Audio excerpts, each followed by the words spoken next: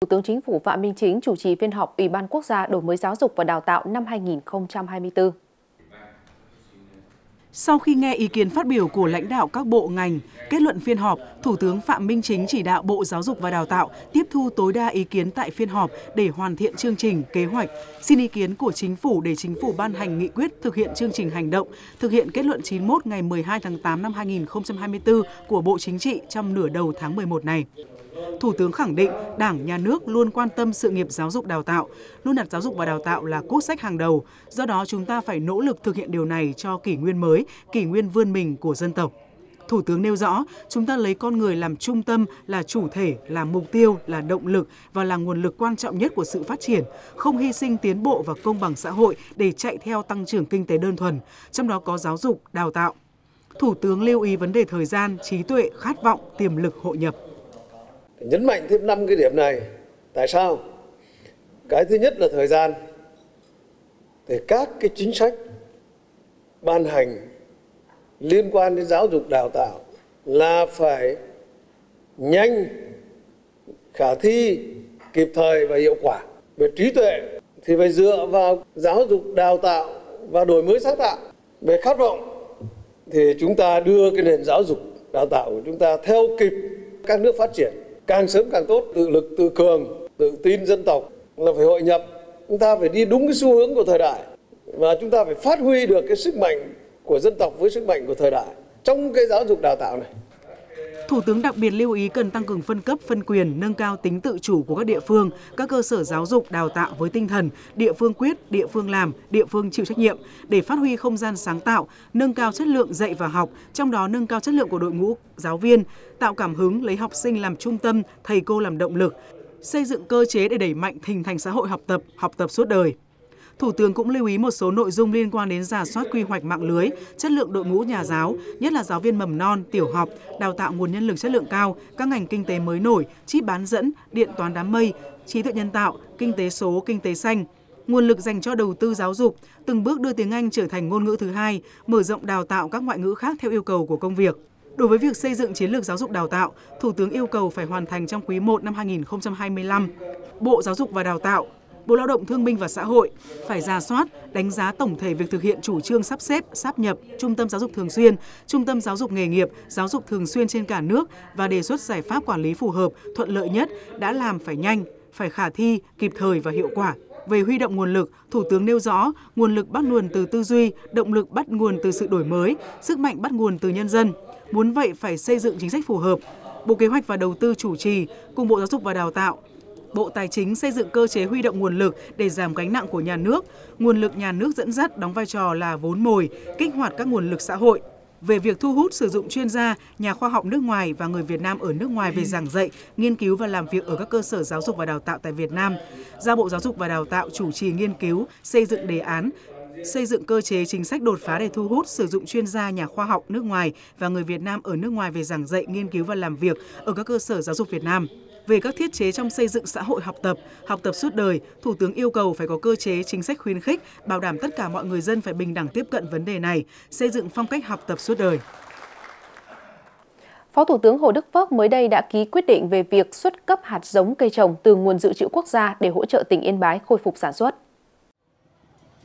Phó Thủ tướng chỉ đạo Bộ Nông nghiệp và Phát triển Nông thôn xuất cấp không thu tiền 137 tấn hạt giống lúa từ nguồn dự trữ quốc gia, hỗ trợ tỉnh Yên Bái khôi phục sản xuất do ảnh hưởng của bão số 3. Bộ Nông nghiệp và Phát triển Nông thôn, Bộ Tài chính xử lý cụ thể theo quy định, chịu trách nhiệm về thông tin, số liệu báo cáo. Ủy ban Nhân dân tỉnh Yên Bái chịu trách nhiệm về tính chính xác của số liệu báo cáo và tiếp nhận, phân bổ và sử dụng số hạt giống cây trồng nêu trên kịp thời, đúng quy định. Theo dự thảo của Bộ Lao động Thương binh và Xã hội, doanh nghiệp thiệt hại trên 50% tổng giá trị tài sản do bão số 3 được tạm dừng đóng quỹ hưu trí tử tuất không quá 12 tháng. Chính sách này nhằm hỗ trợ doanh nghiệp ở các địa phương bị ảnh hưởng nặng theo quy định của Nghị định 115-2015 về tình trạng dừng đóng bảo hiểm xã hội do thiên tai. Bảo hiểm xã hội Việt Nam đã đề xuất tạm dừng đóng cho 3.300 doanh nghiệp du lịch với 93.000 lao động tại các tỉnh như Quảng Ninh, Hải Phòng và Lào Cai với số tiền khoảng 740 tỷ đồng. Thời gian tạm dừng đóng dự kiến từ tháng 10 năm 2024 đến tháng 3 năm 2025. Chính phủ sẽ ban hành chính sách chính thức sau khi lấy ý kiến các bên liên quan. Do ảnh hưởng của chiều cường kết hợp với gió mùa đông bắc và mưa tại chỗ trong tháng 11 này, trên địa bàn tỉnh Hậu Giang sẽ xuất hiện hai đợt mực nước cao gây ngập lụt cục bộ. Chiều cường đợt đầu tháng 10 âm lịch kết hợp với gió mùa đông bắc làm mực nước cao nhất xuất hiện từ ngày mùng 2 đến ngày mùng 6 tháng 11, gây ngập với mức độ từ trung bình đến nặng. Đối với đợt chiều cường giảm tháng 10 âm lịch kết hợp với gió mùa đông bắc và có khả năng kết hợp với mưa, đỉnh chiều cường xuất hiện từ ngày 17 đến ngày 20 tháng 11, gây ngập với mức độ nhẹ, trung bình.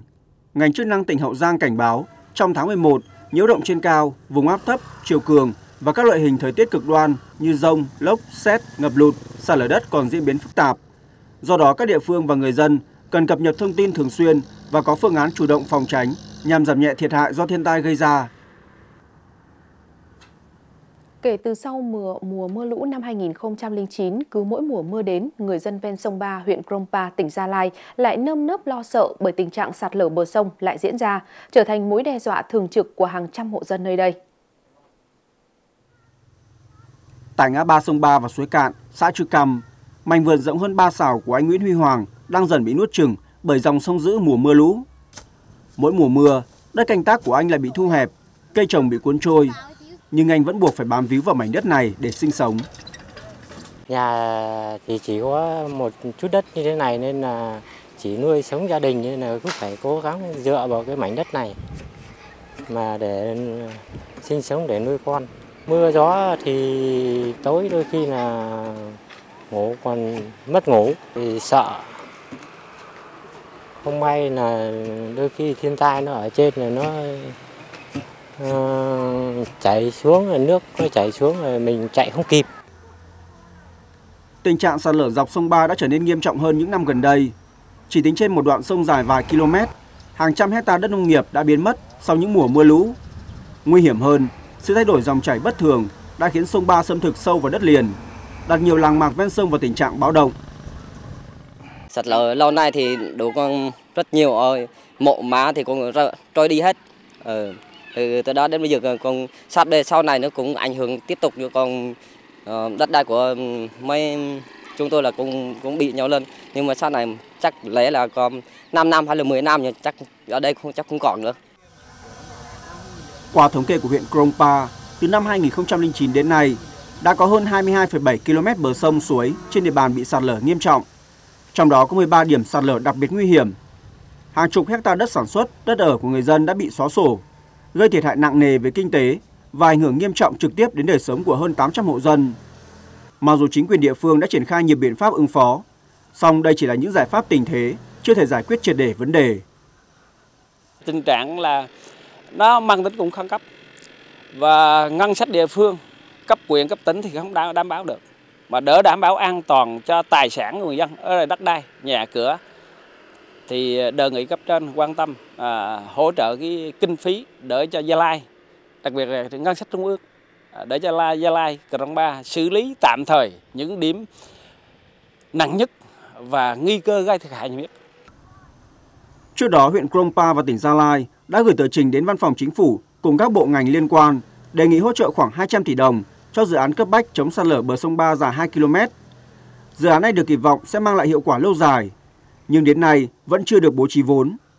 Trong khi mùa mưa lũ ở Gia Lai vẫn đang ở đỉnh điểm, kết hợp với biến đổi khí hậu khó lường, khiến nguy cơ sạt lở và thay đổi dòng chảy trên sông Ba đang trở thành mối đe dọa hiện hữu đối với dân cư sinh sống dọc bờ sông.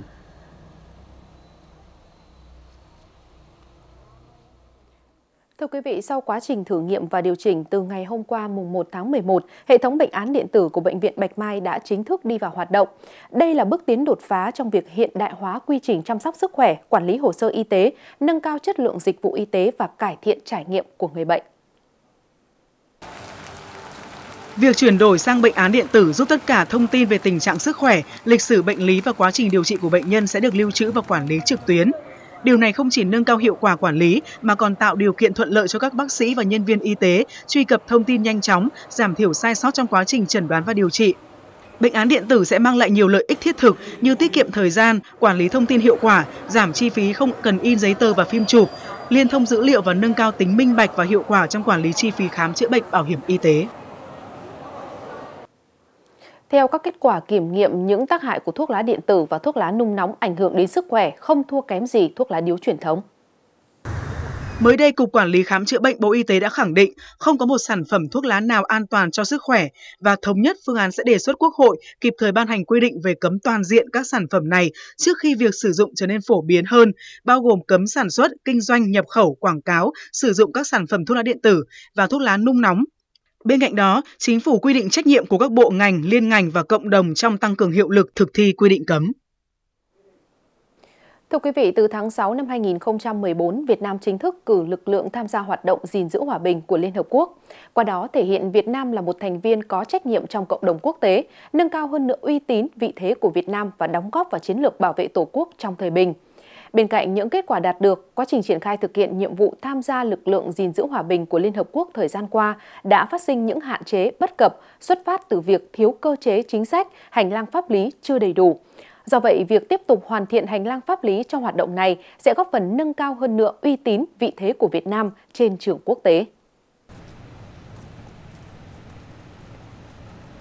Để quy định điều chỉnh hoạt động tham gia gìn giữ hòa bình Liên Hợp Quốc của Việt Nam, Quốc hội, Chính phủ, Bộ Quốc phòng đã ban hành nhiều văn bản để hướng dẫn thực hiện. Các bộ, ngành cũng đã có những thông tư hướng dẫn thực hiện các văn bản quy phạm pháp luật. Tuy nhiên, do chưa có nhiều kinh nghiệm trong hoạt động này, nên số lượng nội dung điều chỉnh không nhiều, khó tránh khỏi hệ thống văn bản pháp luật về lĩnh vực gìn giữ hòa bình chưa đồng bộ, chưa theo kịp với sự phát triển của nhiệm vụ hiện nay. Nghị quyết 130 của Quốc hội thì ra đời 2020 nhưng so với tình hình thực tế hiện nay thì đã có những cái biến đổi vì do cái yêu cầu nhiệm vụ Liên Quốc giao cho lực lượng quân đội và lực lượng công an đã có những cái, cái biến chuyển. Đặc biệt là cái yêu cầu ngày càng cao của Liên Quốc đối với các lực lượng gìn giữ hòa bình. Và chưa kể đến những tính cạnh tranh của các nước tham gia hoạt động à, gìn giữ hòa bình Liên Hợp Quốc. Cho đến thời điểm này thì chúng ta mới ờ, cái văn bản ừ, pháp luật cao nhất ờ, để mà cụ thể nhất để mà cử lực lượng ờ, gìn giữ hòa bình chúng ta như các đại biểu đã nói đến là cái nghị quyết 130 từ năm 2020. Thế thì cũng thấy rằng là như vậy là từ 2014 đến 2020 chúng ta cử các lực lượng gìn giữ hòa bình đi là không có cái căn cứ vững của vững nhất của một cái nghị quyết của Quốc hội. Xong ờ, chúng ta cũng đang bàn đến cái việc là xây dựng ờ, xây dựng cái dự luật và uh, trình dự luật vào cái kỳ họp lần thứ 9. Uh, dự kiến là sẽ thông qua vào kỳ họp lần thứ 10. Và như vậy là có hiệu lực nếu như dự luật được thông qua thì cũng phải đến giữa năm 2026. Thế thì như vậy là từ giờ đến giữa năm 2026 chúng ta cũng chưa có một cái luật có hiệu lực pháp lý cho lực lượng gìn giữ hòa bình của chúng ta. Thế thì ờ, những cái giai đoạn này là những cái giai đoạn mà theo cái quan điểm đứng từ từ từ góc độ của của pháp luật thì, thì chúng tôi thấy rằng nó có những cái khoảng trống nhất định, những cái điểm yếu nhất định về mặt căn cứ pháp lý cho lực lượng gìn giữ hòa bình của chúng ta. Với khoảng trống như vậy, cho thấy cần thiết sớm ban hành luật tham gia lực lượng gìn giữ hòa bình của Liên Hợp Quốc. Bởi Việt Nam cần có văn bản pháp lý hiệu lực cao để có một cơ sở pháp lý vững chắc, thể hiện được cho cộng đồng quốc tế thấy trách nhiệm, sự nghiêm túc của Việt Nam trong quy định pháp lý. Đồng thời, để phù hợp với cam kết quốc tế mà nước ta tham gia trong lĩnh vực này. Việc xây dựng luật là cần thiết bởi vì chúng ta cần có một cái văn bản pháp lý có hiệu lực cao để để chúng ta thứ nhất là chúng ta uh, có một cái cơ sở pháp lý vững chắc cái điểm thứ hai nữa là chúng ta cũng như đồng chí cục trưởng cũng trao đổi là chúng ta cũng thể hiện được cho cộng đồng quốc tế thấy rằng là cái cái cái cái trách nhiệm của chúng ta cái sự nghiêm túc của chúng ta trong cái việc tha, ờ, quy định uh, pháp lý và thứ ba nữa là chúng ta cũng cũng để là là ừ, ừ, phù hợp với cái cam kết quốc tế mà chúng ta tham gia trong cái lĩnh vực này. Hiện tại, Cục gìn giữ hòa bình Việt Nam cũng đang tích cực phối hợp với các cơ quan liên quan hoàn thiện dự thảo luật tham gia lực lượng gìn giữ hòa bình của Liên Hợp Quốc. Luật sẽ có 6 chương, 37 điều, trong đó dành hẳn một chương để đề cập đến việc xây dựng, triển khai lực lượng. Là riêng cái chương 2 thì chúng tôi tập trung vào nêu về cái xây dựng và triển khai lực lượng rất quan trọng xây dựng triển khai lực lượng và cái chương 3 là chúng tôi nêu về cái um, cái nguồn lực ấy, đấy, cái công tác bảo đảm cũng như là chế độ nguồn lực, chế độ chính sách thì cái đấy, hai cái chương này rất quan trọng. Nhưng một cái chương nữa, mà cái chương 4 mà đồng chí ờ, Trang có nói là chúng tôi cũng, đồng chí Thanh Huyền nói là chúng tôi cũng rất tập trung, đó là hợp tác quốc tế. Riêng chúng tôi dành riêng một chương 4 về hợp tác quốc tế, rất quan trọng. Đấy là là cái nhất. Cái thứ hai là về cái tương thích của xây dựng luật, làm sao cái tương thích giữa luật Việt Nam và với ờ, Việt Nam là thành viên của các cái, chúng ta ký các điều ước quốc tế đối với các quốc gia mà chúng ta là thành viên. Thì chúng ta không sợ cái luật nó sẽ không tương thích với với những cái quy định bởi vì chúng ta khi triển khai cá nhân thì chúng ta đã có đơn giản nhưng khi triển khai loại hình đơn vị đều phải có cái bản ghi nhớ và trong đó nó tích hợp tất cả pháp luật Việt Nam, luật pháp quốc tế rồi quy định Liên Hợp Quốc và các cái ờ, pháp luật sở tại. Theo chương trình nghị sự, dự thảo luật tham gia lực lượng gìn giữ hòa bình của Liên Hợp Quốc dự kiến sẽ được Quốc hội cho ý kiến tại kỳ họp thứ 9 tháng 5 năm 2025 và xem xét thông qua tại kỳ họp thứ 10 tháng 10 năm 2025. Sau 4 ngày xét xử và nghị án, Tòa án Nhân dân tỉnh Bắc Ninh đã ra phán quyết đối với 13 bị cáo trong vụ án vi phạm quy định đấu thầu trong lĩnh vực y tế xảy ra tại tỉnh Bắc Ninh. Hội đồng xét xử xác định đây là vụ án đồng phạm giản đơn giữa các nhóm bị cáo với nhau nhằm mục đích cho công ty AIC và công ty thuộc hệ sinh thái AIC, các công ty thuộc nhóm công ty Sông Hồng trúng thầu 6 gói thầu mua sắm thiết bị y tế tại 6 dự án bệnh viện đa khoa tuyến huyện thuộc tỉnh Bắc Ninh, gây thiệt hại cho nhà nước hơn 48,6 tỷ đồng. Đối với các bị cáo Nguyễn Nhân Chiến, Nguyễn Tử Quỳnh, Nguyễn Văn Nhường, Nguyễn Hạnh Trung, Trần Văn Tuynh khi phạm tội là lãnh đạo tỉnh, ngành Bắc Ninh, quá trình công tác đã có nhiều đóng góp trong việc xây dựng và phát triển kinh tế xã hội của tỉnh. Quá trình điều tra, truy tố, xét xử 11 bị cáo có mặt tại phiên tòa đều thành khẩn khai báo, ăn năn hối cải, khắc phục hậu quả, nên đều được áp dụng tình tiết giảm nhẹ trách nhiệm hình sự. Hội đồng xét xử tuyên phạt bị cáo Nguyễn Thị Thanh Nhàn, chủ tịch công ty AIC đang bỏ trốn, 13 năm tù về tội đưa hối lộ. Đối với tội nhận hối lộ, hội đồng xét xử tuyên phạt bị cáo Nguyễn Nhân Chiến 54 tháng tù, bị cáo Nguyễn Tử Quỳnh lĩnh án 36 tháng tù, Trần Văn Tuynh 42 tháng tù, Nguyễn Hạnh Trung 24 tháng tù tội nhận hối lộ. Các bị cáo Nguyễn Tiến Nhường 26 tháng tù, Nguyễn Hồng Sơn 10 năm tù tội vi phạm quy định về đấu thầu gây hậu quả nghiêm trọng. Các bị cáo khác từ 18 đến 30 tháng tù. Cục Quản lý thị trường thành phố Hồ Chí Minh vừa phối hợp với các lực lượng tiến hành kiểm tra hoạt động kinh doanh tại hai trung tâm mua sắm lớn trên địa bàn thành phố, gồm chợ Bến Thành và trung tâm thương mại Sài Gòn Square, phát hiện nhiều sản phẩm có dấu hiệu giả mạo nhãn hiệu. Kiểm tra các quầy bán đồng hồ, mắt kính, túi sách tại chợ Bến Thành, quận 1, lực lượng chức năng phát hiện có 6 cơ sở kinh doanh đồng hồ, mắt kính, túi sách có dấu hiệu vi phạm hàng giả, hàng không rõ nguồn gốc xuất xứ và hàng hóa xâm phạm quyền sở hữu trí tuệ của các thương hiệu nổi tiếng thế giới. Quản lý thị trường lập biên bản và thu giữ hàng trăm sản phẩm đồng hồ, túi sách, mắt kính có dấu hiệu giả nhãn hiệu để tiếp tục điều tra làm rõ.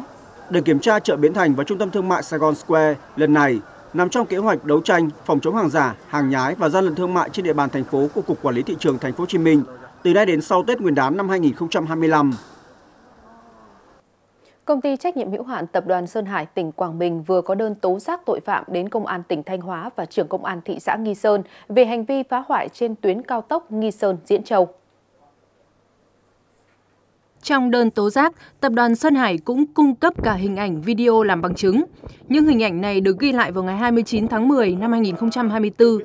Một nhóm người đi xe tải có cầu nâng đã đi dọc tuyến cao tốc Nghi Sơn Diễn Châu và phá 9 biển cam kết bảo hành 10 năm của tập đoàn Sơn Hải trên tuyến đường đoạn từ km 380 000 đến km 385 200 thuộc gói thầu XL01 dự án Nghi Sơn Diễn Châu quá trình à, đi vào khai thác, có một số kẻ xấu ờ, dùng cái hóa chất ờ, phá hoại mặt đường. Ờ, tiếp sau đó thì chúng tôi đề cao cảnh giác và cho người và phương tiện đi kiểm tra 24 24 thì chúng tôi phát hiện ra một nhóm đối tượng khác lại tiếp tục là phá hoại chính biển bảo hành 10 năm của chúng tôi trong cái biển á, bảo hành 10 năm của chúng tôi gửi Bộ Giao thông đã có nội dung là quá trình để cắm biển để người dân theo dõi. Qua quá trình này chúng tôi phát hiện thì chúng tôi khẩn cấp để làm một cái tờ trình khẩn gửi là công an điều tra làm rõ. Từ cuối năm 2022, các gói thầu thuộc Tập đoàn Sơn Hải thi công đều được nâng lên thời hạn bảo hành 10 năm với cam kết mặt đường không hằn lún, không bong bật, kể cả khi thời tiết bất lợi hay phương tiện quá trọng tải. Hành vi phá hoại trên là có chủ đích, gây ảnh hưởng xấu cho xã hội và làm thiệt hại đến tài sản, uy tín, danh dự của doanh nghiệp, cần điều tra xử lý nghiêm theo đúng quy định của pháp luật. Sau một tháng gia quân thực hiện cao điểm bảo đảm trật tự an toàn giao thông, tình trạng học sinh tại các trường ở Hà Nội tham gia giao thông vi phạm đã giảm đáng kể. Theo thống kê của Phòng Cảnh sát Giao thông Hà Nội, trong tháng cao điểm xử lý tình trạng học sinh vi phạm trật tự an toàn giao thông, toàn thành phố đã xử lý gần 8.000 trường hợp vi phạm trật tự an toàn giao thông thuộc nhóm lứa tuổi học sinh, tạm giữ gần 3.500 phương tiện các loại. Ngoài ra, lực lượng chức năng cũng đã xử lý hơn 450 trường hợp phụ huynh, chủ xe giao xe cho người không đủ điều kiện điều khiển, xác minh và lập danh sách hơn 3.000 trường hợp học sinh vi phạm trật tự an toàn giao thông để gửi thông báo đến Sở Giáo dục và Đào tạo. Các lỗi vi phạm của các ờ, em học sinh thường là à, không đội mũ bảo hiểm, trở quá số người quy định à, và chưa đủ độ tuổi điều khiển xe mô tô. Cái đợt cao điểm vừa rồi thì à, ý thức của phụ huynh học sinh này, các à,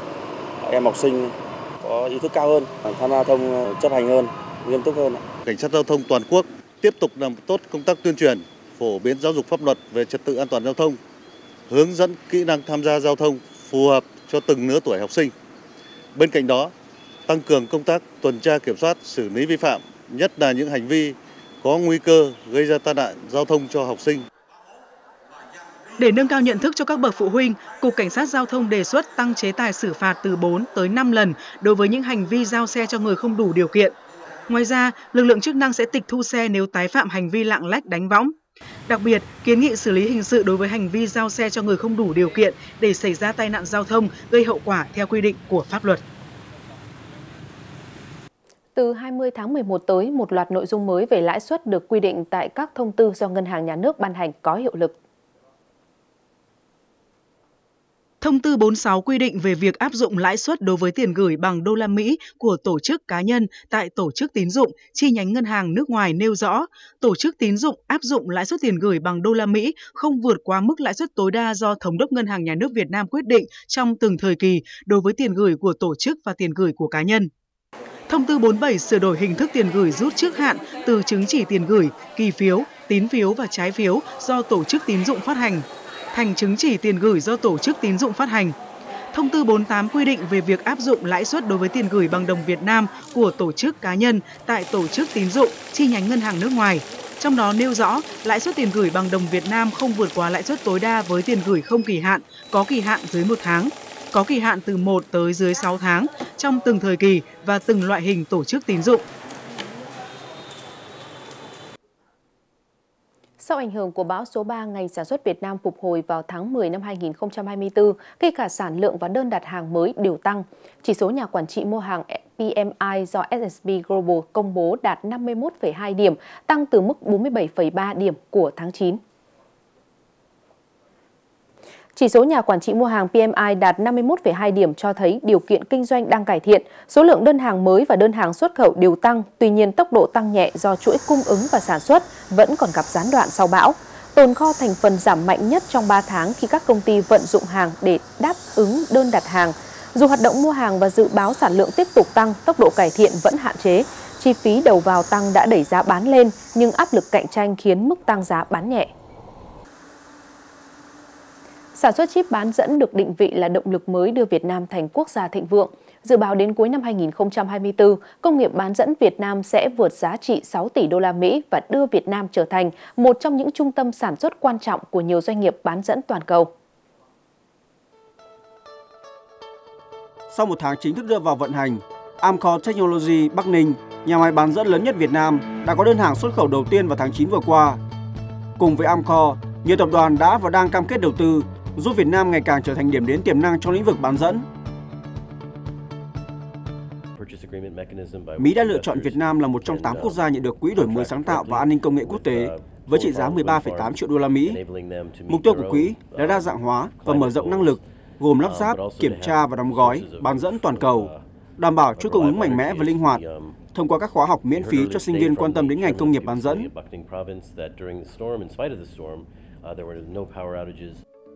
Nhiều chuyên gia khẳng định, lĩnh vực bán dẫn của thế giới đang tiến với tốc độ chưa từng có. Chuỗi giá trị của ngành bán dẫn rất dài, phụ thuộc vào năng lực cung cấp nguồn nhân lực trong chuỗi đó. Thời gian tới, sẽ có sự dịch chuyển nhanh hơn nữa về mặt công nghệ. Việt Nam đứng giữa sự dịch chuyển đó, nên hoàn toàn có thể hợp tác với lĩnh vực bán dẫn của Mỹ, Trung Quốc hay các quốc gia châu Âu, chỉ cần chứng minh được sự hấp dẫn của mình. Chúng ta sẽ có hai cái phân khúc mà có thể tham gia vào cái chuỗi cung ứng. Đó là cái phần thiết kế chip ở đầu, là cái phần mà mang lại cái lợi nhuận rất cao. Thế và cái phần mà kiểm thử đóng gói ở cuối là cái phần mà có những cái quy mô nhà máy rất lớn với số lượng à, công nhân hàng nghìn người với cái kỹ năng cao để mà tạo ra cái sản phẩm cuối cùng xuất đi khắp nơi trên thế giới. Trong bối cảnh ngành bán dẫn toàn cầu tiếp tục phát triển, Việt Nam đang trở thành điểm đến đầy hứa hẹn trong ngành bán dẫn. Thị trường bán dẫn của Việt Nam dự kiến sẽ đạt 7,01 tỷ đô la Mỹ vào năm 2028, với tốc độ tăng trưởng ngành bình quân mỗi năm khoảng 6,69% trong giai đoạn 2023-2028. Từ ngày 7 đến ngày 8 tháng 11 tới, lần đầu tiên Việt Nam sẽ tổ chức triển lãm ngành công nghiệp bán dẫn với chủ đề Nâng tầm Việt Nam trong chuỗi cung ứng bán dẫn toàn cầu thu hút sự tham gia của các tập đoàn công nghệ bán dẫn lớn trên thế giới và Việt Nam. Triển lãm được kỳ vọng sẽ trở thành nơi hội tụ và kết nối nguồn lực để giúp thúc đẩy sự phát triển của hệ sinh thái bán dẫn trong nước. Trước khi chính thức bước vào những nội dung hấp dẫn tại giải chạy Standard Chartered Marathon Di sản Hà Nội 2024, ban tổ chức đã khích lệ tinh thần của các vận động viên bằng một buổi lễ khai mạc ấn tượng với sự kết hợp độc đáo giữa âm nhạc và thể thao tại quảng trường trung tâm công viên Thống Nhất. Một buổi lễ khai mạc giàu màu sắc, một bữa tiệc của âm thanh ánh sáng cùng những khoảnh khắc ấn tượng của hệ thống giải chạy danh tiếng thế giới Standard Chartered Marathon lần đầu tiên đến Việt Nam. Tất cả hứa hẹn tạo nên những giây phút bùng nổ ngập tràn cảm xúc tại Standard Chartered Marathon Di sản Hà Nội 2024, đặc biệt là sự xuất hiện của những vận động viên quốc tế đẳng cấp thế giới. Đây là lần đầu tiên tôi đến Việt Nam và tôi rất hạnh phúc khi có mặt ở đây tham dự giải chạy Standard Chartered Di sản Hà Nội. Công tác tổ chức cũng rất chuyên nghiệp, thể hiện sự mến khách của người dân Việt Nam. Hơn 18.000 vận động viên, bao gồm gần 1.300 vận động viên quốc tế đến từ 55 quốc gia, đã sẵn sàng tham gia Standard Chartered Marathon Di sản Hà Nội 2024. Trong đó XTEP đơn vị đồng hành cùng giải chạy di sản Hà Nội 6 năm liên tiếp đã mang đến nhiều dòng sản phẩm mới, giúp các vận động viên sẵn sàng bứt phá, vươn xa. Như cái tên gọi của nó là 160X, tức là một chiếc giày à, với trọng lượng chỉ rơi vào khoảng 160 gram và thứ hai nữa cả toàn bộ mặt đế được thiết kế bằng tấm carbon à, T700. Đây là dòng carbon mới nhất của trên thị trường. Cái tấm carbon ấy, nó sẽ giúp cho toàn mặt đế của uh, cái chiếc giày khi mà các vận động viên chạy họ sẽ được uh, nâng đỡ và đẩy lực cho các vận động viên, trợ lực cho họ trong quá trình chạy. Cũng tại giải chạy này, XTEP và Ngân hàng Standard Chartered Việt Nam sẽ triển khai hoạt động thu gom làm sạch giấy cũ để trao tặng lại cho người dân ở vùng sâu vùng xa trên khắp cả nước. Sáng kiến này thể hiện tấm lòng chia sẻ của cộng đồng chạy bộ Việt Nam, đồng thời khuyến khích tái sử dụng và giảm thiểu rác thải, góp phần thúc đẩy phát triển bền vững tại Việt Nam. Trong phần tiếp theo của chương trình, Nga, Triều Tiên thảo luận cách thức triển khai hiệp ước quan hệ đối tác chiến lược toàn diện. Bầu cử Mỹ, hai ứng cử viên nỗ lực vận động cử tri trước ngày tổng tuyển cử. Chương trình tiếp tục với những thông tin thời sự quốc tế đáng chú ý. Trong cuộc hội đàm diễn ra ngày hôm qua mùng 1 tháng 11 tại thủ đô Moscow, Ngoại trưởng Nga Sergei Lavrov và người đồng cấp Triều Tiên Cho Seo-hu đã thảo luận cách thức triển khai hiệp ước quan hệ đối tác chiến lược toàn diện. Theo Ngoại trưởng Lavrov, Nga mong muốn đạt được sự hiểu biết chung với Triều Tiên về việc thực hiện hiệp ước quan hệ đối tác chiến lược toàn diện giữa hai nước. Về phần mình, bà Cho Sun Hui cho biết trên cơ sở hiệp ước quan hệ đối tác chiến lược toàn diện giữa Liên bang Nga và Triều Tiên, quan hệ hợp tác song phương đang phát triển trên mọi lĩnh vực, trong đó có kinh tế, quân sự, chính trị và văn hóa. Hồi tháng 6 năm nay, trong chuyến thăm cấp nhà nước của Tổng thống Nga Vladimir Putin tới Triều Tiên, lãnh đạo hai nước đã nhất trí nâng cấp quan hệ với việc ký hiệp ước quan hệ đối tác chiến lược toàn diện. Và đến ngày 24 tháng 10 vừa qua, Duma quốc gia tức Hạ viện Nga đã phê chuẩn hiệp ước.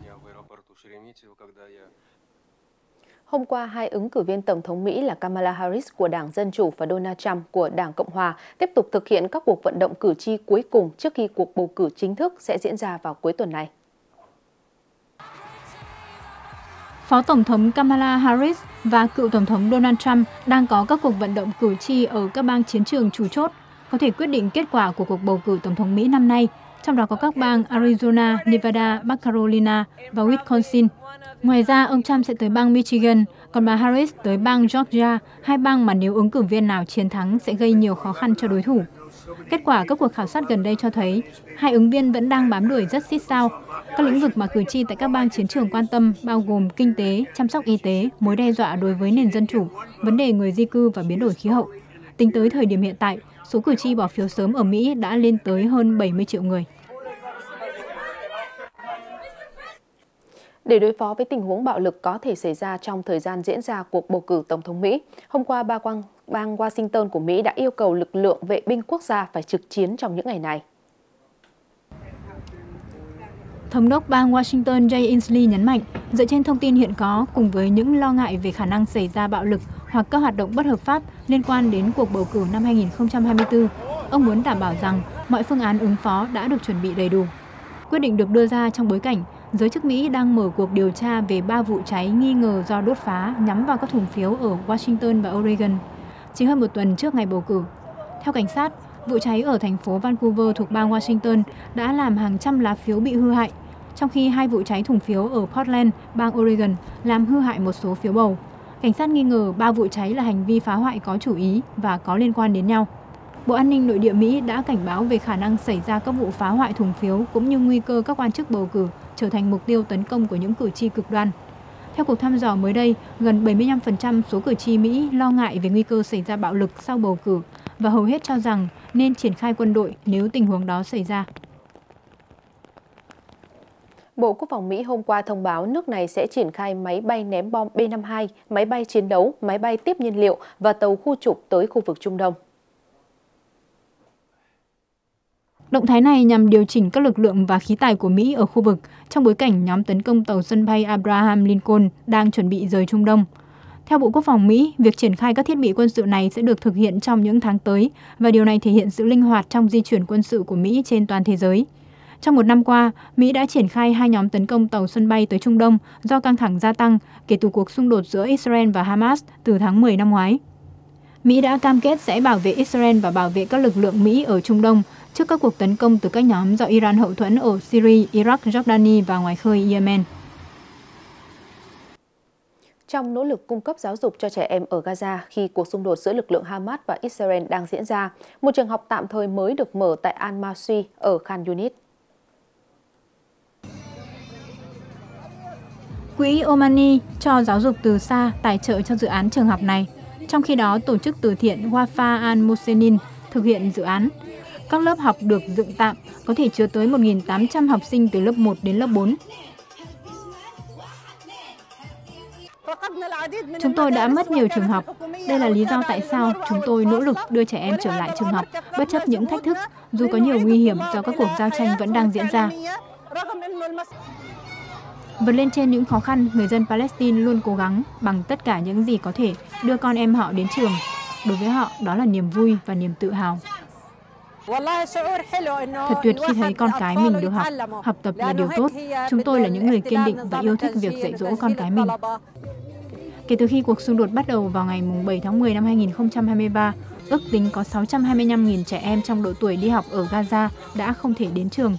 Hiện nay, hầu hết các trường học ở Gaza đã bị phá hủy hoặc được chuyển thành nơi trú ẩn cho người dân. Theo Bộ Giáo dục Palestine, hơn 10.000 học sinh và sinh viên đại học và hơn 500 giáo viên, giảng viên đại học đã thiệt mạng trong các cuộc tấn công của Israel. Ngân hàng Thế giới dự báo năm tới giá hàng hóa toàn cầu dự kiến sẽ giảm xuống mức thấp nhất trong 5 năm do tình trạng dư thừa dầu lớn. Trong báo cáo mới nhất về thị trường hàng hóa toàn cầu, Ngân hàng Thế giới nêu rõ năm 2025, nguồn cung dầu toàn cầu dự kiến sẽ vượt nhu cầu trung bình khoảng 1,2 triệu thùng một ngày. Tình trạng dư thừa dầu lớn đến mức có thể giới hạn tác động đến giá ngay cả khi xảy ra xung đột lớn hơn ở Trung Đông. Nguyên nhân một phần là do sự thay đổi lớn ở Trung Quốc, nơi nhu cầu dầu đang chứng lại do gia tăng doanh số xe điện và nhu cầu về xe tải chạy bằng khí tự nhiên hóa lỏng, trong khi sản xuất công nghiệp đang chậm lại. Ngoài ra, một số quốc gia không thuộc tổ chức các nước xuất khẩu dầu mỏ và các đối tác OPEC cộng sẽ tăng cường sản xuất dầu, góp phần dẫn đến dư cung và đến cuối năm 2026 sẽ giúp giá hàng hóa toàn cầu giảm. Ngân hàng Thế giới dự báo giá lương thực sẽ giảm 9% trong năm nay và thêm 4% nữa vào năm 2025. Trong khi đó, giá năng lượng được dự báo sẽ giảm 6% vào năm tới. Chuyển sang thông tin về thời tiết. Theo Trung tâm Dự báo Khí tượng Thủy văn Quốc gia, do ảnh hưởng của không khí lạnh, từ ngày mùng 4 tháng 11 ở phía Đông Bắc Bộ và Thanh Hóa trời chuyển rét. Từ ngày mùng 5 đến ngày mùng 6 tháng 11 ở khu vực Bắc Bộ và Bắc Trung Bộ trời rét, vùng núi có nơi rét đậm. Nhiệt độ thấp nhất trong đợt không khí lạnh này ở Bắc Bộ và Bắc Trung Bộ phổ biến từ 17 đến 19 độ C, vùng núi có nơi dưới 15 độ C. Và sau đây sẽ là những thông tin thời tiết chi tiết cho các vùng trên cả nước. Thông tin này cũng sẽ khép lại bản tin của chúng tôi ngày hôm nay. Cảm ơn sự quan tâm theo dõi của quý vị và các bạn. Xin kính chào tạm biệt và hẹn gặp gặp lại.